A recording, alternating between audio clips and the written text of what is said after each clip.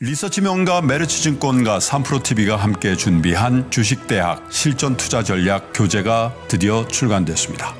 종목을 선정하는 투자의 기본기를 쌓아주고 포트폴리오를 스스로 만들 수 있도록 체계적으로 짚어주는 투자의 필수 코스. 모든 업종별 분석과 전망 그리고 펀드 매니저를 위한 기초 교육 자료까지 최초로 공개합니다. 2월 8일부터 교보문고 YES24 등 전국 온라인에서 예약 구매가 가능합니다. 자세한 사항은 페이지 2 공지사항을 참고해 주세요. 자 그러면 저희 허재환 위원 만나러 가겠습니다. 우리 유진 투자증권의 허재환 위원님 오랜만입니다. 어서 오십시오. 어서 오세요. 네, 안녕하십니까. 네. 너 언제 이사까지 되셨어요? 네? 이사? 아, 이사님이세요? 아 축하드립니다. 나이가 들었다는 증거인 것 같습니다. 아유 뭐 나이 만 든다고 그게 이사가 되나요? 능력을 또 인정받고 음. 회사에서도 충분히 또 그럼. 어, 허 이사님의 어떤 전문성 같은 걸 높이 산 거 아니겠습니까? 아니 근데 어쨌든 우리 저 삼프로 TV에 1년 개근을 하면은 그 승진되는 게 코스야. 무조건 음. 다. 아니 근데 저희 출연하시는 중에 저 이사님 되신 거예요? 아니면 그 전부터 이사님이셨어요? 아, 예, 그 작년 말에 작년 말에 네. 아 축하드립니다. 아니, 말씀을 좀 하시죠 그러면. 네? 네, 말씀을 좀 하시죠. 저희가 뭐 화환이라도 좀 보내드리고 해야 되는데. 그거 어떻게 말해? 알아서 챙겨야지. 말로만 뭐 내가 제일 좋아하는 허재한 허재한 챙겨주지도 않고. 자 우리 허재한 이사님. 자 그러면 오늘 또 아, 높은 위치에 올라가신 만큼 더 큰 책임감으로 우리 시청자분들께 알짜 정보를 좀 전해 주셔야 됩니다. 괜찮으시겠죠? 네, 알겠습니다. 네. 자신감 있게 좀 가겠습니다 오늘. 네. 자 일단 뭐 지금 코스피나 코스닥이 한참 쫙 갔다가 이제 한 5%뭐 뭐 10% 가까이 이렇게 좀 살짝 빠진 상황에서 계속 어 그렇게 막 힘 있는 것 같지는 않은데 요 상황 지금의 우리 코스피나 코스닥 흐름을 좀 혹시 어떻게 보시는지 이게 다시 이렇게 어, 올라갈 힘을 좀 축적하고 있는 단계인지 아니면 뭔가 이렇게 약간 좀 힘이 좀 분산되고 빠진 상황으로 좀 봐야 되는지 어떻게 좀 봐야 되겠습니까? 네, 저는 그 힘을 축적하고 있는 과정이다라고 생각을 하고 있습니다. 아 그렇습니까? 근데 이제 최근 들어서 이제 글로벌 시장에서 봤을 때 좀 특징적인 거는 그러니까 뭐 미국이 이제 이번 주 들어서 조금 조정을 받긴 했지만 네, 전체적으로 보면 되게 우상향을 하고 있고 네, 그 어떤 글로벌 주식시장의 어떤 상승세가 좀 확산이 되고 있는 것 같습니다. 네, 네, 네, 그러니까 대표적인 게 이제 일본이죠. 네, 일본 니케이 지수가 아시겠지만 90년 8월 이후 처음으로 이제 3만 선 음. 돌파를 음. 했잖아요. 그저께. 그래서 이 일본 시장이 저는 되게 좀 재밌는 것 같아요. 일본 시장이요. 그러니까 일본 시장이 항상 가장 나중에 이 고점을 칩니다. 아 여러 나라들 주요 네. 국가들 증시 중에 그러니까 일본까지 이제 주가가 오른다라는 거는 네.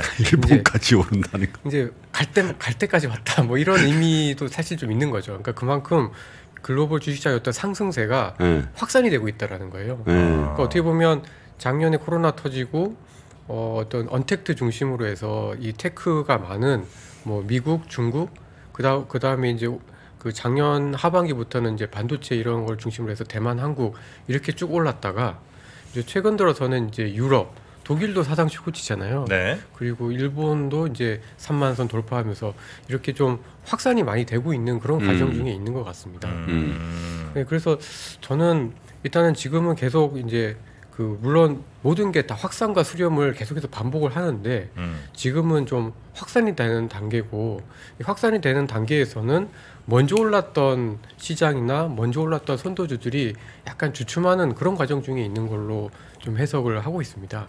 그래서 결론적으로는 지금은 힘을 축적하는 음. 과정이고 물론 이제 이 과정에서 조금 최근 들어서 이슈는 금리죠, 금리, 그다음에 음. 인플레 이런 것들 때문에 뭐 어제 그제 계속 좀 질문을 많이 받았는데요. 네, 네. 그러니까 제가 드리는 말씀은 일단 모든 분들이 금리가 오를 때 주가가 안 빠지는 거는 다들 아시겠는데 최근에 금리가 오르는 배경 이런 거는 오히려 유가라든가 뭐 인플레라든가 이렇게 약간 좀 성장과 관련 없는 쪽에서 오르는 거니까 부담이 있는 거 아니냐 음. 이런 걱정들을 되게 많이 하시더라고요. 네, 그리고 뭐 물론 금융위기 터지고 또 코로나 터지고 너무 이제 부채가 많고 그다음에 이제 어떤 multiple PER 같은 valuation 지표들이 굉장히 높다 보니까 이게 조금만 음- 인플레가 올라가도 금리가 올라가도 굉장히 좀 걱정들을 많이 하시는데요. 네.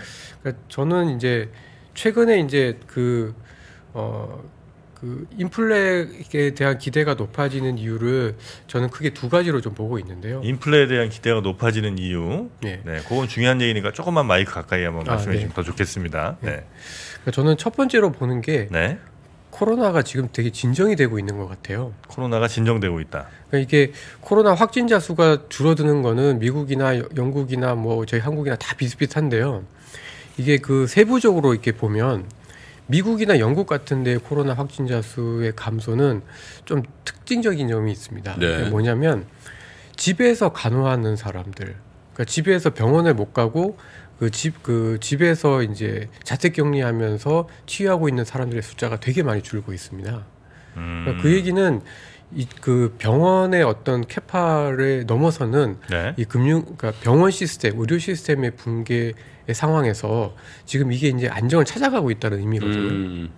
특히 영국 같은 경우는 뭐 변이 바이러스가 발견된 첫 번째 지역이기도 했고 글로벌하게 봤을 때 사망자 그러니까 인구당 사망자 수가 가장 많은 지역이었잖아요. 네. 근데 그쪽에서 지금 코로나 확진자 수가 확 떨어지고 있습니다. 음. 그러니까 백신의 어떤 효과가 분명히 있다라는 거죠. 음. 네, 네. 그러니까 미국도 마찬가지고요. 그래서 이렇게 분명히 그 어떤 그 어, 확진자의 수가 이렇게 떨어지고 있는데 이게 지난 여름처럼 확 올랐다가 그냥 거리두기 하면서 떨어지는 거하고는 좀 질적으로 좀 달라지고 있다라는 겁니다. 음. 그리고 어 그, 그- 그래서 그런 부분에 있어서 아직까지 이제 활동량 그러니까 이제 사람들이 왔다 갔다 하면서 먹고 사고 하는 양은 크게 늘진 않- 않았지만 사람들이 이제 조금씩 조금씩 조금씩 건강해지고 있다라는 네. 거를 감안을 하면 네. 앞으로 뭔가 좋아질 수 있다라는 어떤 기대가 분명히 있는 거죠. 음. 그다음에 또 하나는 이제 부양책인데요. 이게 그 다들 좀 걱정하시는데 지금 보면 저는 바이든 그다음에 옐렌 재무장관 그다음에 이제 파월 의장 이 세 분이 다 삼총사라고 생각을 합니다. 음. 그러니까 항상 보면 누구는 조금 더 언- 앞서 나가고 이렇게 뒤서고 이제 약간 좀그 결이 다른 모습들이 늘 나타났었는데 네. 지금의 미국의 어떤 정책을 결정하는 top 3는 지금 거의 결이 같다는 거예요. 음. 음. 팀워크 좋다. 그러니까 바이든도 굉장히 세게 부양책을 하려고 하고 있고 네. 옐렌도 그때 그 의회 청문회 가가지고 굉장히 세게 얘기를 했잖아요. 그럼 지금 부채 걱정할 때냐? 예. 그리고 파월 의장도 시장에서는 되게 걱정이 많지만 네. 계속 그런 부분들을 완화시켜 주려고 하고 있고 네. 뭐 오늘 아침 새벽에 나왔던 연준의 그 어, 의사록에서도 네. 사실 약간 모호한 부분은 분명히 있어요. 그러니까 언제까지 그러니까 금리 정책은 되게 명확하죠. 예. 인플레가 2% 이상을 넘어서서 꽤 기간이 지나야 되고 완전 고용이니까 적어도 실업률이 4에서 5%까지는 무조건 떨어져야 금리는 올리겠다라고 얘기를 하고 있는데 사실 QE 정책은 사실 모호하거든요. 그러니까 뭐 추가적인 상당한 진전이라는 거는 이건 되게 주관적인 표현인 거잖아요. 그렇죠. 그러니까 거기에 따른 좀 불확실성이 있긴 한데 어, 연준 의사록에서도 적어도 코멘트 자체는 굉장히 좀 도비시한 그런 모습이라 도비시 하다는 게 비둘기 파란 얘기예요. 그러니까 네. 그 굉장히 온건하게 시장 친화적인 그런 발언이 나왔다는 거죠. 매파는 뭐라 그래요? 네? 매파는 뭐라 그래요? 호키시하다고 하죠. 호키 씨. 네. 말들 어렵게. 호키 씨. 아니 말도 어렵게 도비 하는 씨. 게 그게 그냥 그 미국에서 아니, 그러니까 뭐 하는 미국이야 이제. 당연히 그렇겠습니다만. 네. 예, 도비 씨, 호키 씨. 네. 네. 무슨 네, 만화 주인공 이름들 같아. 도비 씨, 호키 씨. 그래서 저희가 좀 강조드리고 싶은 부분은 이세 네. 사람이 네. 지금 정책의 결이 같은데 음. 이분들이 갖고 있는 트라우마가 있죠. 뭐냐면 2011년에도 네. 금융위기 터지고 뭔가 경기가 조금 좋아질 때 이제 그 부양책을 걷어들이려다가 아. 세게 한번 당했던 트라우마가 있다 보니까 발작했죠. 발작. 세 사람이 다. 예. 네. 그래서 그러니까 미국의 정책 당국자들이 그런 트라우마가 있기 때문에 이번에는 무조건 세게 한다라는 게 생각보다 굉장히 오래 지속이 될 수가 있습니다. 그래서 저는 이제 이게 다 알고 있기는 한데 음. 이게 어쨌든 지표로는 아직 반영이 되어 있지 않은데 음. 사람들의 머릿속에는 있다라는 거죠. 음. 그러니까 이게 실물 경제보다는 인플레가 아 그러면 정말 인플레가 나타날 수도 있겠다. 또는 이후에 인플레는 지금 저렇게 계속 정책이 완화적으로 가면서 부양책을 계속 쓰게 되면 앞으로 1년 뒤, 2년 뒤에는 인플레가 올 수도 있겠다. 이, 이 걱정이 사실 좀 있는 거거든요. 음. 근데 저는 그거는 걱정이고 지금 저희가 예를 들어서 뭐 3개월에서 1년 정도 어떤 투자의 어떤 텀으로 봤을 때는 네. 지금은 어 인플레 기대가 먼저 앞선 건 맞지만 실물이 먼저 따라오고 난 다음에 인플레가 오기 때문에 네. 지금은 자산 가격 측면에서 봤을 때는 어좀 이제 그 이제 어떤 금리가 올라서 인플레가 올라서 자산 가격이 떨어질 거에 대한 부분을 반영하기 너무 이르다라고 저는 판단하고 네. 있습니다. 그래서 좀 저는 지금은 에너지를 축적하고 있는 단계다. 네. 왜냐하면 실적 시즌과를 지나면서 또 최근 들어서 약간 성장 형태의 주식들이 좀 많이 셌었잖아요. 음. 근데 이제 금리가 워낙 빠르게 세게 올라오다 보니까 음. 거기서 좀 이제 좀 그 브레이크가 지금 걸리는 그런 시점이다라고 판단을 하고 있습니다. 네. 그래서 지금은 전체적으로 보면 음뭐 아직은 그 에너지를 축적하고 있는 과정 중에 있지 않느냐 네. 그렇게 좀 판단을 좀 어. 하고 있습니다. 그 아까 이제 처음 말씀 주실 때 이제 일본이 제일 늦게 오른다고 하셨잖아요. 네. 근데 일본까지 갔다는 얘기는 달리 얘기하면 이제 갈 만큼 다 갔다는 얘기는 혹시 아닙니까? 그- 그래서 이제 더 이상 뭐 올릴 뭐 에너지 이런 게 남아 있질 않고 이제 일본까지 다 퍼졌다는 거는 이제 시장 끝물 이렇게 해석하는 거는 안 되는 거예요? 아 그게 예전에는 맞았습니다. 예전에 맞았어요? 네, 예전에는 맞았는데 네. 그러니까 그 일본까지 오르면 아 그래서 진짜 일본이 아시겠지만 참 저평가된 시장입니다. 네. 그러니까 PBR로 보면 네. 이 요즘은 뭐 거의 한국만큼 PBR도 100에 겨우 넘는 정도 수준인데다가 밸류에이션도 굉장히 싸고 네. 웬만해서는 잘 못 오르는 시장인데요. 음. 그래서 어, 말씀하신 대로 항상 보면 끝물에 예. 네. 반짝해서 탁 오르고 이제 그때가 정말 고점이었었는데 네. 지금은 좀 저는 다르다라고 좀 보고 있는 게 예. 아직은 전체적인 글로벌 경기 사이클이 좋은 건 아니잖아요. 이제 좋아지려는 기대가 있는 거지 음. 확 좋아진 것도 아니고 그리고 일본 시장이 셀 때를 보면 네. 항상 금리나 인플레나 이런 것들이 어느 정도 올라온 다음에 굉장히 음. 좀 세집니다. 아. 근데 지금은 이제 같이 올라오는 과정에서 이제 같이 따라 올라오는 거지 네. 이게 어떤 뭐 사이클의 어떤 정점을 알리는 신호로 보, 는 일본 시장의 어떤 고점 갱신이라 보기에는 굉장히 좀 음. 이른 시점이다라는 거죠. 음. 그래서 뭐 그런 걱정들을 일부 하시는데요. 네. 저는 좀 그러기에는 지금 상황이 네. 뭐 아직은 좀 굉- 굉장히 좀 이른 시점이다라고 어. 말씀드립니다. 아, 그러고 나서 보니까 생각나네. 작년 네. 하반기에 음. 워런 버펫 형님께서 일본 종합상사 주식을 대거 샀잖아. 아 그래요? 그 네. 그때 기- 한번 다뤘는데 아. 미쓰비시 상사, 마루베니 상사 이런 아. 거 있잖아. 네네. 야 그런 걸 왜 사나 저 양반? 그런 얘기 했었잖아요, 네. 그죠? 아, 아 그걸 보니까 또 아, 역시 형님이야. 네. 해안이 있으시죠. 예? 아니 혹시 그런 건 아닙니까? 그 원래는 이제 원래 코스대로 가면 뭐 미국 오르고 뭐 아시아 시장 오르고 그다음에 이제 일본이 마지막 오르고 경기 끝 이렇게 이제 경기 좋아진 다음에 그게 이제 하나의 세트였는데 음. 그 사이클에서 코로나라는 묘한 변수가 하나 껴들면서 원래 이제 사이클 좋아지고 뭐 미국 일- 뭐 중국 뭐 이렇게 좋아지고 마지막에 일본 좋아지고 땡 끝이었는데 이게 좀 꼬이면서 미국 먼저 사이클 아니 경기도 너무 안 좋은데 미국 먼저 오르고 아시아 증시 막 오르고 그다음에 일본까지 증시 먼저 오르고 그다음에 어 경기가 살짝 올라가긴 하지만 원래 코스대로 가자면 지금 더 이상 증시는 올라가기 힘든 상황. 원래 이한 사이클이긴 한데 사, 사이클만 살짝 꼬인 거. 그렇게는 이해할 수는 없는 겁니까? 어, 저는 이제 보통 그래서 이제 일본 시장이 그렇게 완전 끝물에서 탔을 때는 네. 아까도 잠깐 말씀드렸지만 뭐 지표들이 이미 이제 굉장히 많이 올라와서 정말 이제 더 이상은 좋아질 수 있는 upside가 없는 경우에는 저는 이제 그런 경우에는 이제 정말 끝물이다라고 보는 게 맞는데 음. 저는 아직은 전체적으로 봤을 때 upside가 있다라고 좀 보는 편이고요. 아, 그렇습니까? 그 예를 하나만 좀 말씀드리면은 아, 예를 지금 전 세계적으로 기업들이 돈이 굉장히 많거든요. 음. 뭐 돈이 많은 거는 뭐 미국의 tech 기업들은 뭐 코로나 이전에도 많았는데요. 네. 최근에 경제 지표들 중에 보면은 미국은 그 기업들의 어떤 자산 대비 현금성 자산의 비율이 굉장히 높은 수준에 있습니다. 음. 음. 그러니까 그 2000, 그 코로나 이전에는 한 9% 10% 그러니까 전체 자산의 한 10% 정도만 현금을 갖고 있었던 네. 어, 어떤 미국 기업들이었는데 음. 지금 미국 기업들의 전체 자산 대비 현금 비중이 한 13% 14%까지 쭉 올라왔거든요. 음. 이게 역사적으로 굉장히 높은 수준입니다. 네네. 음. 그러니까 이제 코로나 터지고 뭐 회사채 발행도 많이 하고 자금 조달도 많이 해가지고 현금을 갖고 있는데요. 음.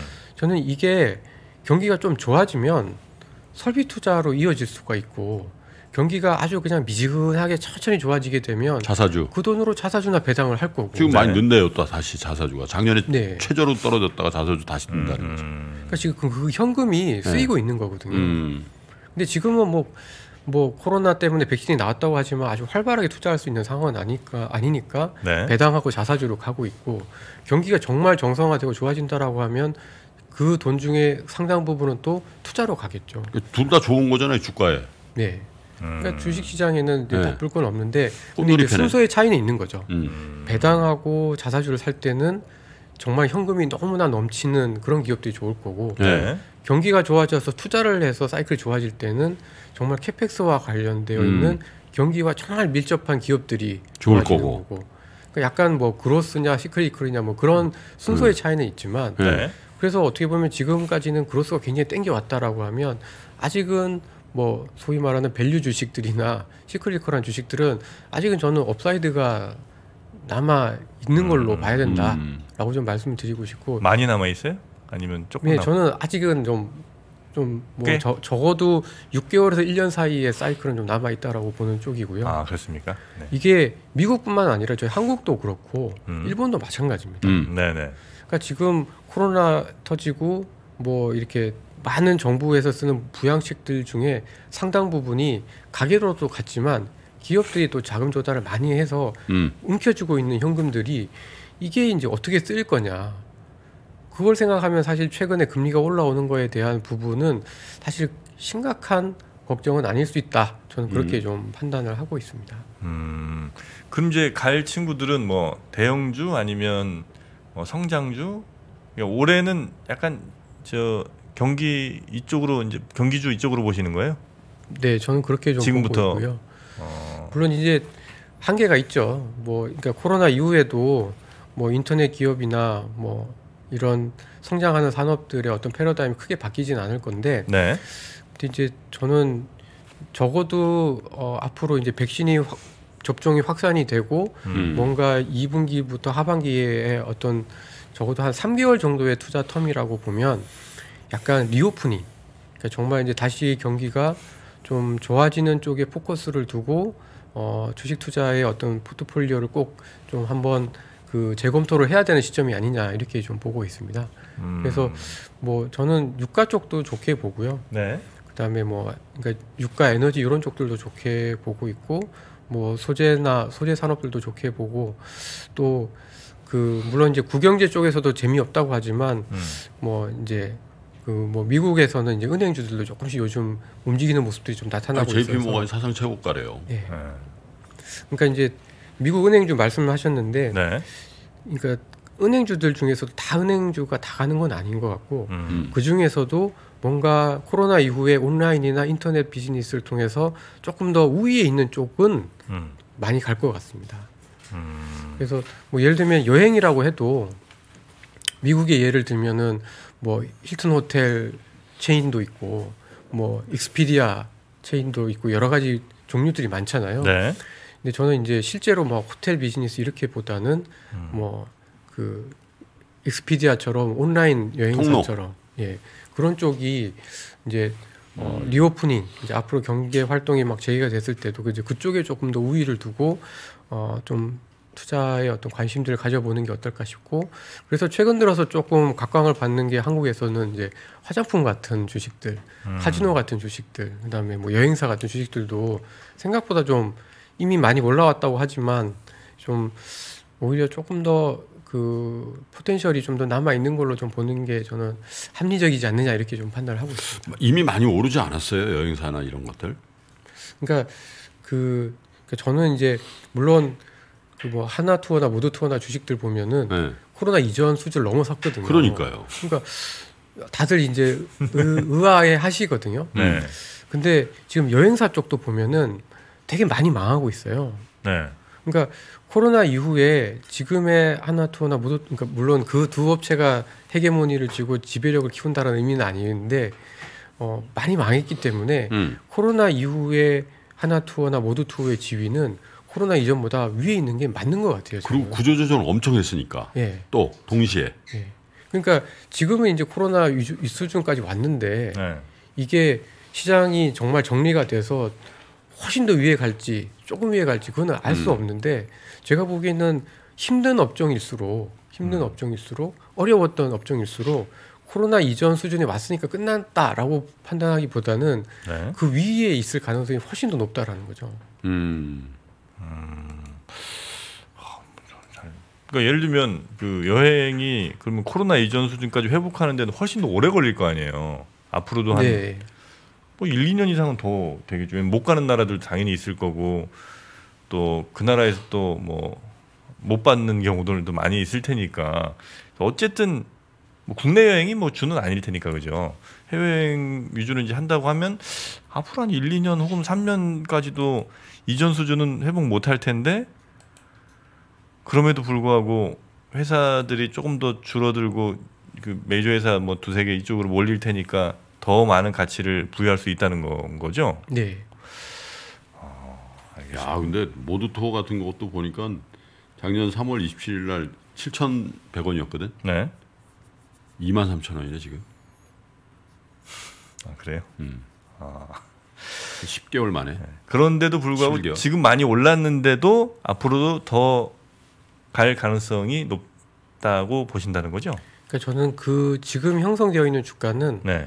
이제 구조조정이 되어서 음. 그 업체가 코로나 이전보다도 위에 있을 거를 이제 구조조정에 대한 부분을 반영했다라고 보고 있고요. 네. 실제로 이제 경기가 좋아져서 실적이 좋아지는 부분은 아직 남아 있다라고 보는 거죠. 음. 음. 그러니까 거기서 이제 좀 그러니까 경기만 보면은 말이 안 되죠. 네. 이제 지금의 어떤 형성되어 있는 주가는 이제 지금 코로나 이후에 다 죽고 살아남는 몇 업- 업체가 음. 이제 승자 독식의 구조로 인해서 이제 그, 그, 그 이전보다도 market share를 한 두 배, 세 배 가져갈 거다라는 거를 반영한 주가고 지금부터는 정말 실제로 이제 조금이라도 뭐 경기가 좋아져서 사람들이 왕래를 하기 시작하면서 실제로 실적이 좋아질 수 있는 부분은 음. 저는 아직은 덜 반영했다라고 보는 네, 쪽의 네, 네. 의견입니다. 음. 그럼 이제 지금 이 시점에서 어 예를 들면 뭐 대형주 안, 안전한 뭐 예를 들면 삼전 뭐 이런 데 있잖아요. 삼성전자나 이런 데 어느 정도를 좀 갖고 또 이런 뭐 여행주라든지 뭐 그 경기 민감 관련주 뭐 이런 것들에 어느 정도 비율로 만약에 한국 주식에 투자를 한다면 어 갖고 있는 게 좀 현명한 편이다라고 혹시 얘기해 주실 수 있는 비율 물론 이제 개인마다 다 다르겠지만 요- 좀 급해요. I'm so 급해요. 음. 그래서 급- 그래서 대략 어느 정도 비율이면 그래도 적정한 개인 투자자들의 비율인 것 같다. 아 저는 뭐 예를 들어서 지금까지는 이제 비대면이 굉장히 좀 음. 대세였었고 네. 이제 그 과정에서 뭐 최근 들어서 뭐 전기차나 이런 성장주로 탈바꿈할 수 있는 그 산업들에 대한 관심들이 굉장히 좀 많았었잖아요. 네. 그러니까 이제 그 주식들에 대한 관심이 이제 작년에 예를 들어서 음. 이게 100이다 라고 하면은 저는 이제 올해는 그쪽은 한 60, 음. 그러면 이제 40은 어, 아까 말씀드렸던 그런 경제 활동이 재개가 되면서 음. 좋아질 수 있는데 그 중에서도 좀 마켓 시어를 많이 가져갈 수 있는 음. 음. 선도 업체들. 예, 선도 업체들 중심으로 해서 뭐한 3, 40%는 그런 업종들로 음. 채워가는 것도 음. 저는 되게 좀 밸런스 있는 어, 좀 분산 투자의 효과를 낼 수 있는 그런 산업 어, 그런 좀 전략이 아닐까 싶습니다. 음. 경제가 회복되면서 사람들이 많이 뭔가 하려고 할 때 뭐 소비되는 뭐 화장품 뭐 이런 것도 있을 수 있고 음. 극장 많이 갈까요? 극장? 극장. 네, 저는 극장은 난 한번 가보고 싶네. 극장. 근 1년 안 극장 갔더니. 못 가신 됐죠. 네. 저도 정말 네. 이번 설 연휴 때도 이렇게 정말 넷플릭스만 보기에는 참 약간 그 그러니까. 화면의 답답함을 예. 그렇죠. 느껴가지고요. 예. 아 심지어는 애들이고 잠깐 극장 한번 갔는데 애, 애기 영화 보려고 앉고 애는 떨어져 앉아야 돼 한자 음. 네, 한 좌석씩 떨어져 앉아야 되니까 아주 애매하더라고요. 음. 예. 근데 이제 지금 아마 그건 좀 아마 바뀐 것 같긴 한데 그런 것들 음, 경기가 회복되면 코로나가 조금 잠잠해지면 좋아질 기업들 중에 선도 업체들의 비중을 그래도 한 40% 정도 혹은 뭐 개인의 어떤 성향에 따라 좀 다르겠습니다만 어느 정도 갖고 가는 게 좀 좋겠다 네. 이런 말씀이신 네. 거죠. 알겠습니다. 우리 허재한 위원님, 아유 우리 오랜만에 또 함께해 주셔서. 근데 우리 잠시 후 염성한 부장님도 오십니다만 염성한 부장님이 우리 허재한 위원님의 그 리포트도 종종 자주 소개를 그러니까. 좀 해주세요. 네. 네, 그만큼 아주 그 꼼꼼한 허재한 이사님입니다. 아 참, 네, 허재한 이사님, 네. 허 이사님, 네 고생 많으셨고요. 음. 네, 그 이사님 다음은 뭐예요? 그 위는? 상무죠. 상무. 네. 네. 이사, 상무, 네. 전무, 부사장, 사장, 부회장. 예, 뭐 바로 저는 그냥 대표만 해봐갖고 잘 모르겠네요 그런 걸. 자, 하여튼 우리 직장 생활을 여기 대표 이사로 시작했어요. 3프로 TV에. 네 우리 허시한 이사님 얼른 저 상무님 다시기를 바라면서 오늘은 여기서 보내드리겠습니다. 고맙습니다. 감사합니다. 네, 자 이제 염승환 부장 만나서 우리의 증시 개장 상황까지 한번 여러분과 함께 가보겠습니다. 산업을 이해하고 기업을 이해해야 돈의 흐름이 보입니다. 리서치 명가 메리츠증권과 3프로TV가 함께 야심차게 준비한 3프로TV 주식대학 겨울학기 실전 투자 특강.